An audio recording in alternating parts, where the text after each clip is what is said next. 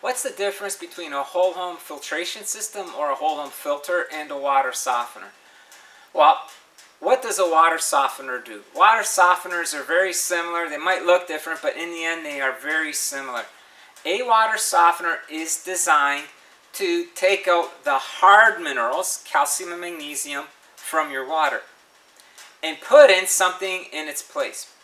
There's nothing free in life. So for example, if we were to do a dollar exchange, and if I give you two loonies, and you give me a toonie, that's a fair exchange. That's an exchange of coins.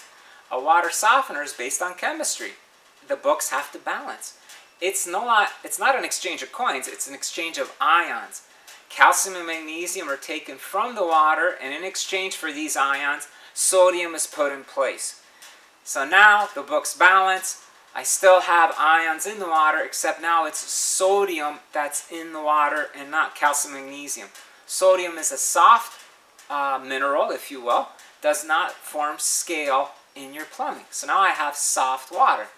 And while this water is good to heat up in your hot water tank, and it's great for your appliances, and it makes it easier to clean your glass tile and things like that at home, it is not healthy for you. It's designed to reduce scale buildup in your home. Humans need calcium magnesium. In fact, research from the World Health Organization shows that people who drink demineralized water are at greater risk of heart attack and stroke. And there's over 60 years of data on this from the World Health Organization. How is that different than a water filter? Water filters come in all kinds of different shapes and sizes, different qualities. You can get a basic cartridge type system that'll simply dechlorinate your home. How is this different than a water softener? Well, it leaves the calcium magnesium in your water so your water is healthier from a mineral point of view and it will dechlorinate the whole home water. There's also systems that look like softeners that come in a tank, will have a valve on it, they backwash, and now you can put carbon in here. Same thing, it'll dechlorinate your water, Still leave a significant amount of toxins in your water, but it leaves the minerals in. So there's a bit of a compromise here. Here at Purahome, our favorite by far and away, based on science and research, is the Aquaspace whole home systems. They are exceptional.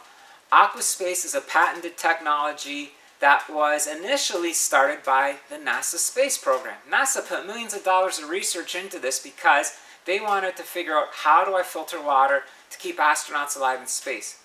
And this is critical. What is the difference between astronauts in space and living at home? In space, they only have a small amount of water that they just recycle and reuse. So in this loop, they urinate, they flush, they drink. And they continuously do that and do that and the water gets filtered. And by the time they get home, they're still healthy. Aquaspace took NASA's research, millions of dollars of research, improved it and patented it.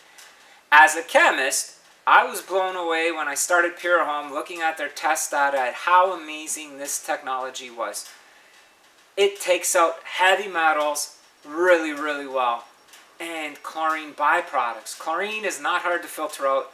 Uh, Aquaspace easily does that, but chloroform, which is a byproduct of chlorine, and we feel it's the biggest cancer-causing agent in your water, and probably the most challenging organic to filter from your water, Aquaspace is doing chloroform at this end of the spectrum and heavy metals at this end of the spectrum and pretty much almost everything in between.